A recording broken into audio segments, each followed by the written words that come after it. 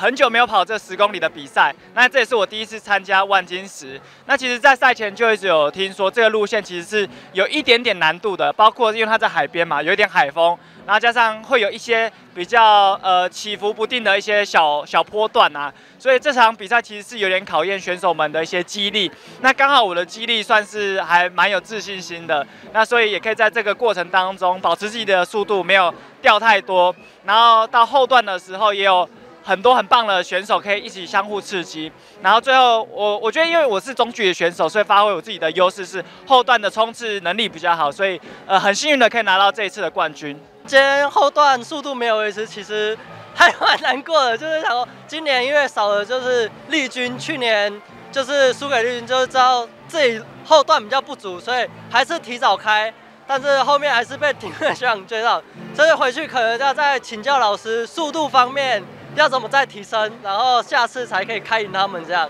比赛比较密集，但还是有多少一点点像，但是这还是自己要去克制的地方这样。接下来全大运准备状况就是以全力以赴，就是去调整全大运，就是路跑赛就会尽量少参加，就是以全大运为主，因为自己还没拿过前三名，很想拿前三名。呃，因为我是第一次参加这场万金石马马拉松的十 K 挑战嘛，那。我赛前其实就有看他的路线是比较起起伏伏的，那搭配一些这里特色海风。我旁边两位选手刚好就是因为多年认识，然后也是朋友，就刚好他们也一二名。那在跑的时候，我就会有在思考说，我其实上下坡能力没有他们来得好。到后段的时候，我就想说没关系，那我今天就当练习在。这场比赛去做一点激励训练，跟训练一下自己上下坡的能力。那没想到我今天跑的成绩其实也不错，第一次